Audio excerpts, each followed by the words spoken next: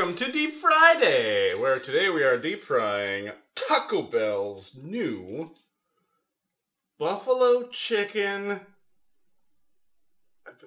fries. And nachos. There's Nacho- nachos in there somewhere. Fries. Buffalo chicken nacho fries burrito.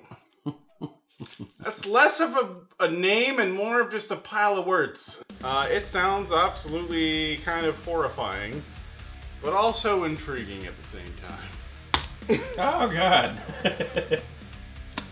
It came down with a authority. it really did. It tested your countertop's strength. Here we go. All right. Our oil is slightly used for making hot wings, so we're gonna see how this turns out. Woo! Yay! All right, yeah, it's looking, uh, it's looking pretty decent. Yeah. Close that down, let it go. Um, we got a couple extras. So what I wanted to do was just taste test this. I know it's cold, but we'll get an idea. Uh, what's that? Del Taco. They make these giant burritos, right? One of them has steak and French fries in it. The thing about that burrito is that it's giant, and the proportions of French fry to all the other ingredients make it kind of equal out to something that's delicious. This is it's Taco Bell, so what are they gonna throw the most of in here? Obviously, it's gonna be the cheapest ingredients, which are the French fries. So it's very French fry forward. Mm. there is some chicken. There is the nacho fry flavor because we've had those before on the channel. I'm not getting a whole lot of buffalo because the nacho fry seasoning is so strong that obviously it would overtake that. Look at this, he won't stay over. He's, Settle down in there. We're making you good. he's a Weeble wobble. Come on, Ha ha ha ha ha. just hold him under until he quits struggling. You're such a good babysitter, Hank.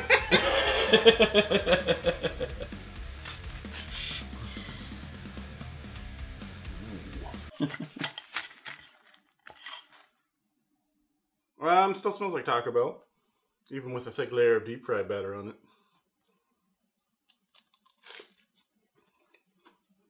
Hmm.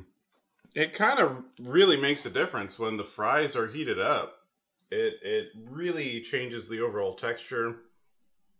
Having uh, the batter on it gives it an extra crisp, which definitely helps.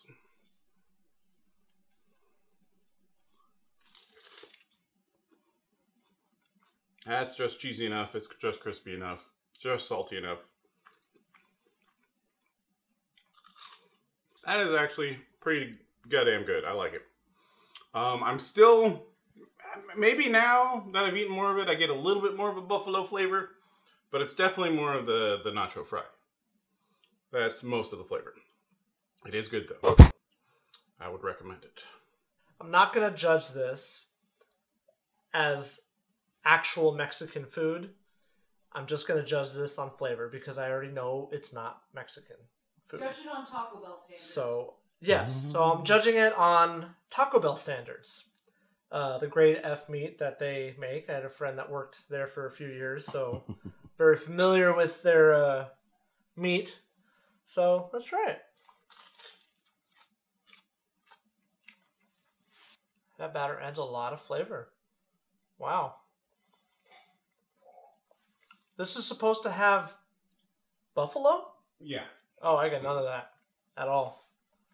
No buffalo, no vinegar, none of that. It's batter, chicken, cheese. That's all that I taste. It's a check for me. It's good, but I expected more vinegar and the buffalo. And only now do I get a little bit of buffalo in the tail.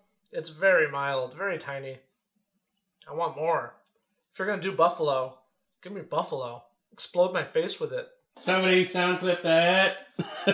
Explode into his face. You heard it here. Here we are with our buffalo nacho fry, buffalo cheese chicken buffalo bullshit. All right. I got the like part with the most filling and cheese and chicken. Look at that. That's a that's a huge piece of chicken right there. They aren't slacking with their chicken game, I guess. Mm-hmm. All right, cheers.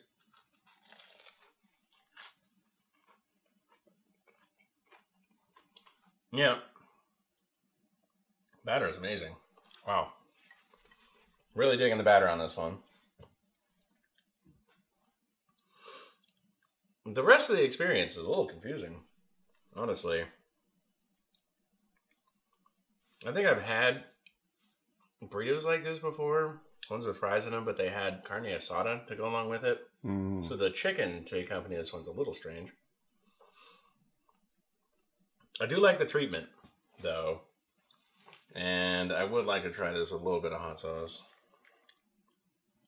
But boy, it doesn't really feel like hot sauce is the right thing here. It feels like like that buffalo sauce would be better to go with the chicken. But yeah, like everybody else is saying, I don't even get a hint of that. I think I've settled in my in my mind uh, as a check on this one because it sort of just tastes like a big version of one of those roller taquitos I'd get at 7-Eleven. Do you guys know what I'm saying? yeah. Like it's lacking on ingredients here. So it's like they threw a couple of things into a tortilla and even though it's not enough um it still has like you know enough in there to sort of satisfy you for what they're charging you. I like it, but it's confused. So thank you so much for joining us on this Deep Friday. Next time, we'll deep fry to something different. Go ahead and leave it in the comments down below if you got any ideas. Make sure to like, comment, subscribe. Check out all of our social media. Check me out on twitch.tv forward slash loafy molasses. And why don't you go ahead and check out the merch store? Buy yourself a Cult Moo lamp or something. Stationery, post it notes. Help us out. We need to change this fucking oil. Can't you see? Can't you see how fucking dirty it is? Oh my god.